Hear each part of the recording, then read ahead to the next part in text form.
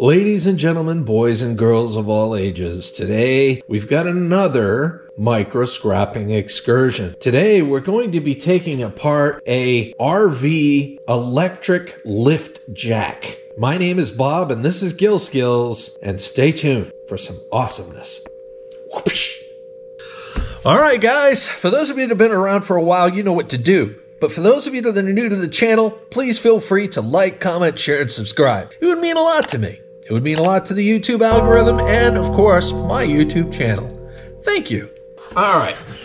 First comes first, we got three screws here. I'm gonna go ahead and take this off. This is a leveler. So basically, you know, if you got an RV or a camper, this, this here is an electronic lift jack. So if you want to lift the front of the RV so that you can put, you know, hook it to your truck or whatever, you can do it with a flick of a button instead of cranking it and doing it manually. With that being said, this one no longer works. So we're going to take it apart and see what inner goodness is inside. Now, obviously, we've got a great deal of steel. That much is certain. We've got some wires, and I'm sure we've got a motor in there as well, but we're not going to know for sure until we dive in. First thing we're going to do is we're going to take off these three screws here, which is for this leveler. So I'm going to do that real quick.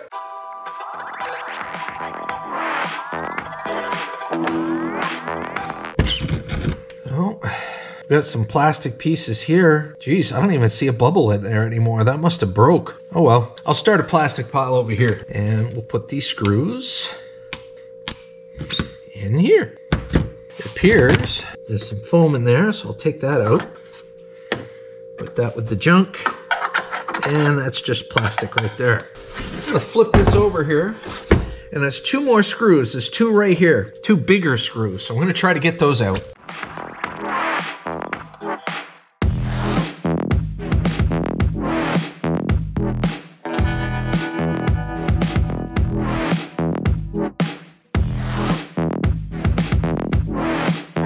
Big screws.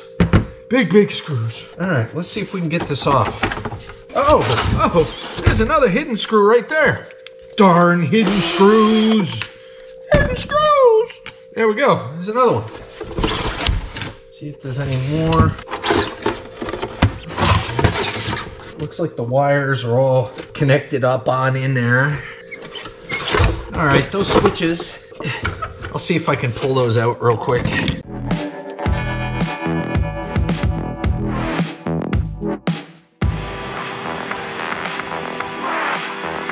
Should all come out now, or not. Oh, there's one more I gotta cut. There we go. So we got the switches in there. I'm gonna try to get the switches out. We've got some brass connectors in there too. We get a little bit of wire that I left on there, so I wanna get those out. The rest should be plastic.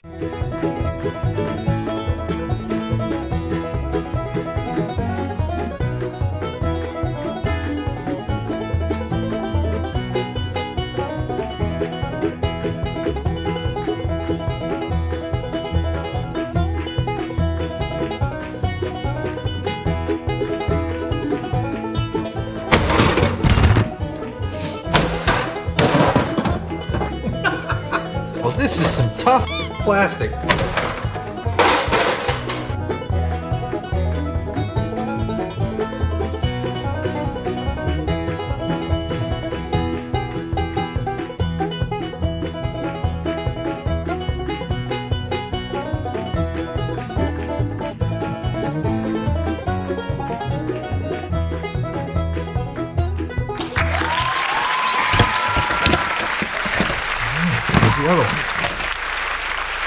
Plastic. Let's take a look and see what we got there. We got, this is probably the motor right here, guys. We've got two bolts. We've also got some screws right here. And I'm gonna go ahead and get out.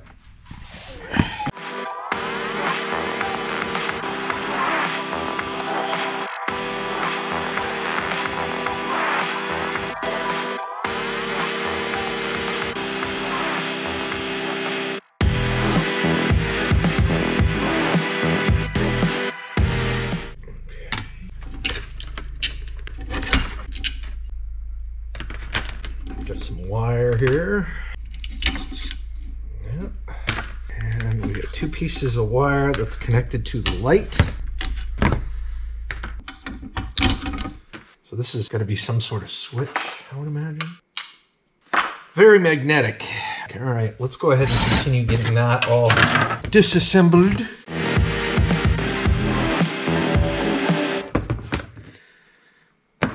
Okay, so we got this light here. Take that light out. Looks like there's a little board in there too that I might want to save for later. Got two more screws. Might as well separate the plastic. All right, more plastic. I'm pretty sure this is magnetic. Oh yeah. So, so we get metal there. So this uh, this looks like an aluminum housing, which is interesting. This bolt here, I don't know if we loosen this bolt and this releases the shaft underneath, but I am going to try to get it out. So let's see if we can do it. I'm gonna loosen it. Let's see if we can. Okay, so I don't know if we can. Okay, I see. It's, it's turning that motor. All right, well, no big deal.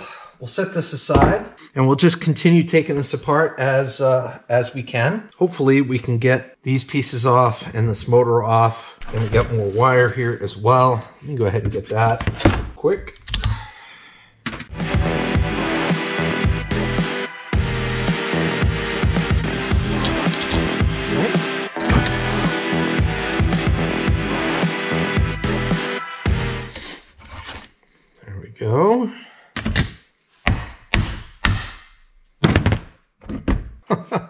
Well, the motor came out. So that's where all the copper is. I don't see too much copper in here. Looks like there's magnets on the outside of the steel wall. There is a little bit of copper in there, but not much. Majority of the copper is right here.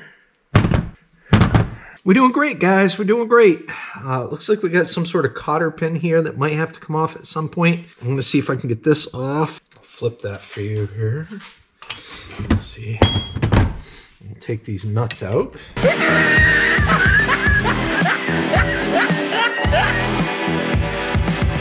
Okay. So we got the nut there. And we get that. Do the other side now.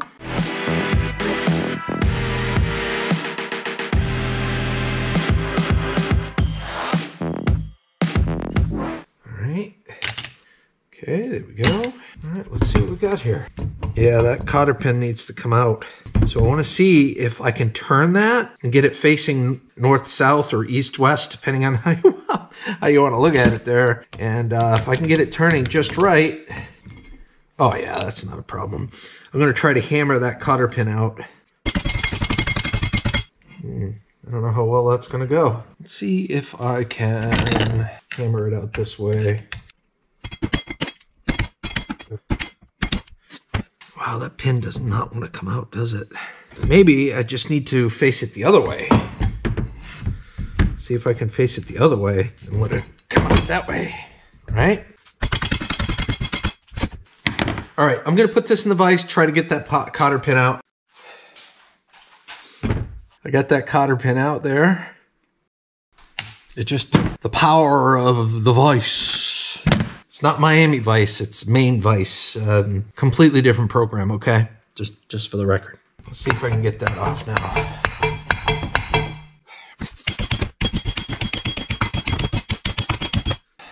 Oh, got a washer there.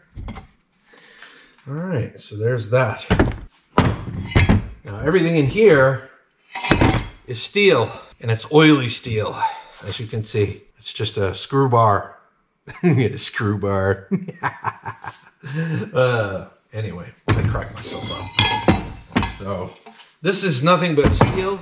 There's nothing else in here but that steel, so we're going to leave that.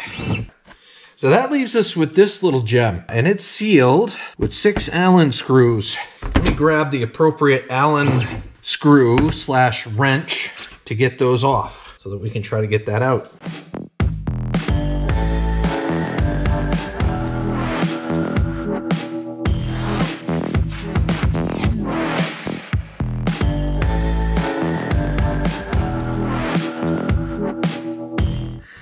Think that's all the screws that were holding it in. Let's see if we can separate it. Ooh. Ooh, we got we got this gluey, gooey, ooey mess uh, with all sorts of uh, steel gears and stuff. Let's see if we can get the the windings out and the ooey gooey. God, let's see if we can get. Uh, let's get rid of that ooey gooey if we can. I'll use one of the plastic pieces to try to shovel some of that crap out. No! Uh, No, God, oh, please, no! no. No! no! Okay. Oh, I got a little bit on me still. We're making headway here. We're making some headway to figure this out. All right. Well, that was pretty straightforward. We get that piece out. Now, I wonder if some if some of these internal mechanisms are brass. Nope. Not at all. They are very, very ferrous. So this here might be a little interesting in trying to get off. Let's take this gasket off. Is it like a gasket to keep that ooey gooey crap in there? Ugh. I don't know how this is going to work. I don't know if that's going to just come out or not. Oh, I see. I see. It's held in there with a little pin. I don't know if you can see that or not, but that pin could be removed. I'm going to remove that. Yes! Just don't want to come out. I'm going to put this in the vise so it's easier for me to get that pin out. I will be right back. All right, so I was able to get that off. Let's see if I can get it completely out of there now. Finally. There we go. She's out. Nice. Oh my god, there's a second one in there. there's a second one in there. Son of a. Okay, well, I'll grab that second one as well. I'm going to put this in the vise though, so I can grab it. Be right back.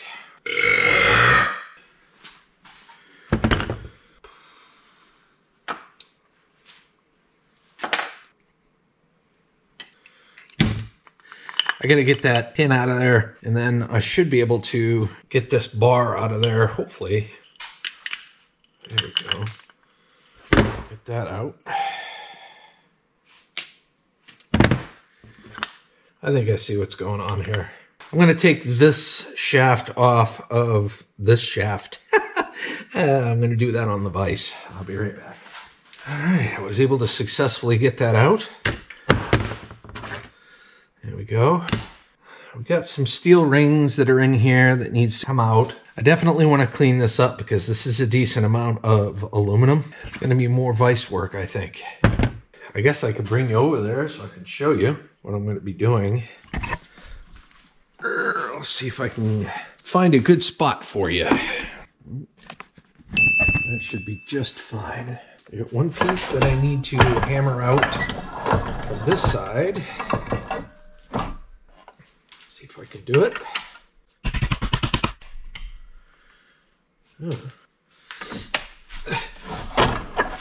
Oh, okay. I think we got two different stages here. Okay, fine. I'll get these first. There's one.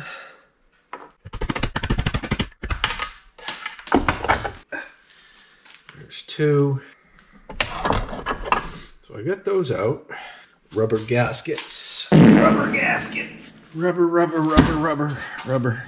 Now these are strange because I thought that they would have to come out this way. I don't know. This is kind of telling me another story here. Let's see if I can get it out. Just broke, broke my screwdriver. Perfect. Wonderful.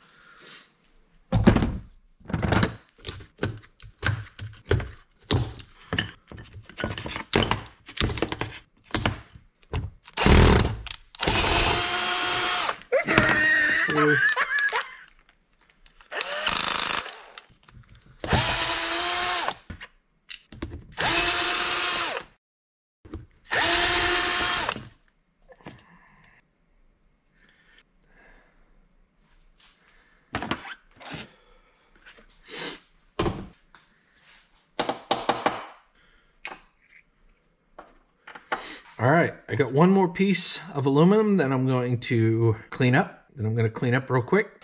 Okay.